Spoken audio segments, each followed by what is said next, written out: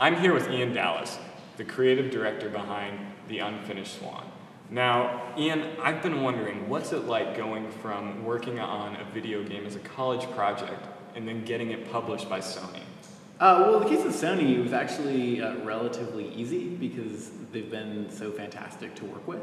So, uh, you know, they were really supportive, and I think we uh, had similar goals. So a lot of times with publishers, uh, you know, there's sort of an adversarial relationship, but with Sony, they wanted something that was really strange and you know, that people had never seen before, and that was exactly what I was interested in. So the conversation with Sony was really about like, how do we make this thing happen? And uh, you know, there are a lot of things I didn't know how to do, and so I could just go to them and say, you know, like, oh, what do I need here? You know, what do you think? Uh, and, and, because we had similar goals, uh, you know, I felt comfortable saying like, hey, I don't know how to do this what would you suggest? Uh, so yeah, I mean, it was uh, fantastic, and we didn't have to hide that we didn't know what we were doing. Uh, you know, I think that was part of the appeal for them was that they're you know getting things that the God of War team would not necessarily you know be coming up with. Now, can you talk a little bit about working on it during while being in college? Uh, sure. So the game started out as a graduate student project when I was at the USC uh, Interactive Media Department, and uh, you know, it's really just a little prototype. Like every week I'd come up with these different ideas of, uh, you know, how people move around space. And so I come up with this little like interactive experiment. And one of the weeks it was this like, what if you're in a white room, throwing paint around? And uh, in school, it took me uh, like about eight months or so to figure out what the game would be off of that. Uh, you know, it's a very abstract concept.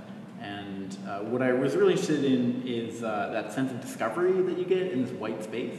And you know, for me, that, that really felt a lot like what it was like reading books as a child, of like turning the page and not knowing what was going to be there. And so children's books were kind of the, the inspiration for that. And just trying to, in school, like figure out where the rest of this, you know, thing was going to go was, was definitely, you know, a big challenge that I hadn't had any classes, you know, that, that would really prepare for that. Uh, but, you know, it was great to be in a place where, you know, I could, uh, you know, talk to, uh, you know, professors and, and, you know, other game developers uh, in school that were you know, gone through some of the you know, same kind of challenges. One of the presentations you gave, you spoke about ac accessibility mm-hmm. and the importance of making the game feel right for players who have never played video games before. Because a lot of games today, you walk into them and they expect you to know how to use two sticks at once. Mm-hmm. Can you talk about uh, why you think it's important to make your game more accessible to people who have never picked up a controller before? Yeah, and, and I, I, don't think that um, it was necessarily our goal to make it uh, as broadly accessible as we could. I think our goal was to make it not needlessly difficult. Uh, and one of the things that was really surprising is that even playtesting the game early on, people that had never played a first-person game could still pick it up, and you know that felt like something that was worthwhile. And so we didn't want to, uh, you know, make things too complicated that would uh, prevent them from enjoying the game. Because I think a lot of people that uh, you know were interested in the game were people that tend to not be that interested in uh, most mainstream games. So I think the biggest thing we did was to try to avoid having, like, forcing players to do too many things at once. So uh, we found that with a, a relatively new first-person, you know, player, they could usually get through, but it would take them a little longer to do that. So we tried not to, you know, pile a bunch of things on. So like have like time pressure or you know complicated combat or jumping around. Uh, and, and, generally, you know, the game didn't really require that. So it wasn't like we were you know consciously trying to you know restrict the game to, to appeal to a broader audience. Uh, it, it, was more just you know being conscious of what are the things that uh, these folks find difficult and you know trying to make that a little bit easier. So like for our, our camera controls, like one of the things that we did was um, when players are looking down and they walk forward, we kind of automatically, subtly adjust the camera so they're looking straight again because we found that a lot of people that had never played games, you know, would only either move or rotate the camera. Like they'd move the player or they'd, they'd rotate uh, where they were looking. They wouldn't do both. And so they would look at something in the ground and then they would be like, all right, well now it's time to move on. And they just keep moving forward while still looking at the ground. So it was a way that we could just kind of give them a little bit of a helping hand. And it worked out well because the people that are, you know, professional, or not professional, like very experienced first person uh, gamers, you know, they don't want to walk around looking at the ground either. But, you know, for them, they'll do that, you know, automatically uh, you know, but it's just for the, the newer players that we could kind of give them a little bit of a helping hand without, you know, making it more, you know, annoying for the rest of the players. So it's kind of a win-win. One thing you also talked about uh, was not only the importance of accessibility, but that you wanted to make sure it didn't just have to conform to normal game stereotypes, like you mm-hmm. didn't want to have enemies show up. But you said that there were some decisions that you kind of were forced into making about adding more color to the game. Is that correct? Uh, well, I wouldn't say we were forced. Uh, it was something that we discovered as we were making the game that uh, you know, because we started with this simple concept of a white room and, and, black paint, and we found that just after playing that for about 15 minutes, it became a little oppressive. Like the game stopped being about this sense of wonder after you know about 15 minutes or so of doing it. Then you're kind of like looking for what the next thing is. And uh, you know, for us, one of the next things was just aesthetically varying things up. So you know, in the very beginning of the game, uh, you know, you go in. The, I mean, you're in spaces that are relatively confined. So you're in a garden and you see things that are like, you know, around 10 feet away. Generally, like when you're throwing these paintballs, you get a lot of feedback because the environment is very dense. Uh, and then after that, you know, one of the things we do is we, we introduce some shadows, we introduce some colors, but we also do things like, you know, we introduce more uh, movement in the world. So there'll be water that will be moving around, and there are larger spaces, and, and it's just about trying to keep up a sense of variety, uh, since that's a core part of trying to put people into this, uh, you know, sort of uh, mood of discovery. One thing you did say a lot was discovery, discovery, discovery. And I noticed one other thing that was in the game that was kind of video gamey was the collectible balloons. Mm-hmm. Is that something that was a last minute idea or was it something you had earlier on? Uh, I think it came out halfway through the game uh, in terms of the development. It took about three years for us, and I think balloons were like maybe a year and a half in. And uh, actually, really ties right back into you know this problem that we had of this relatively sterile world. So when it's all white and black, uh, you know, and in a lot of the rest of the game too, it feels this, you know, it's a little bit cold. Uh, you know, partly because we didn't have enemies, and it just felt like you were wandering around this sort of desolate landscape.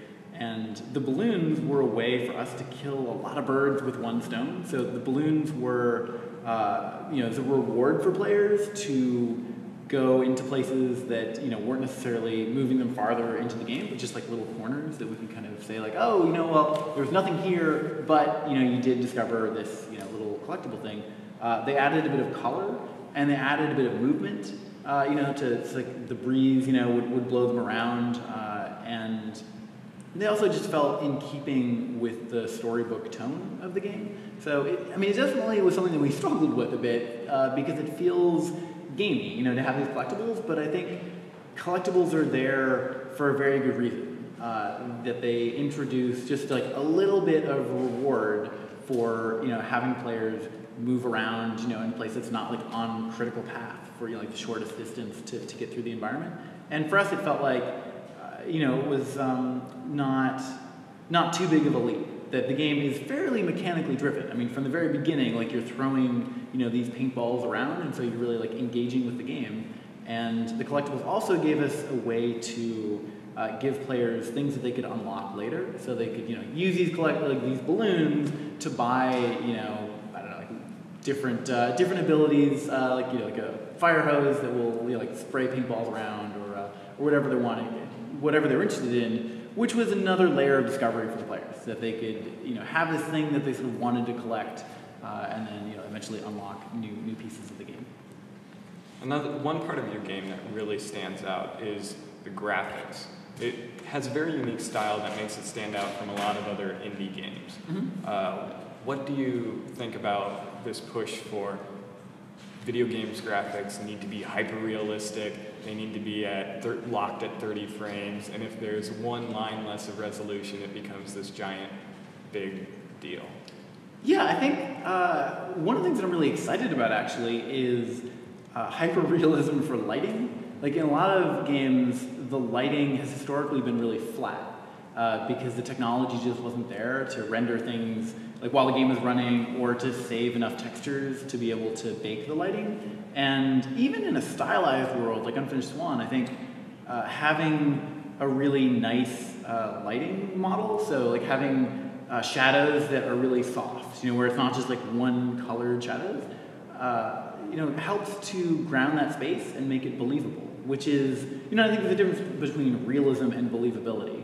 And so the, like especially for the next generation of consoles, like the PS4 and Xbox and, uh, you know, the new PC games that are coming out, uh, we all benefit. Like it's a rising tide that lifts all boats. So the technology is much easier for, for baking these lights uh, and then also for, for rendering them at runtime.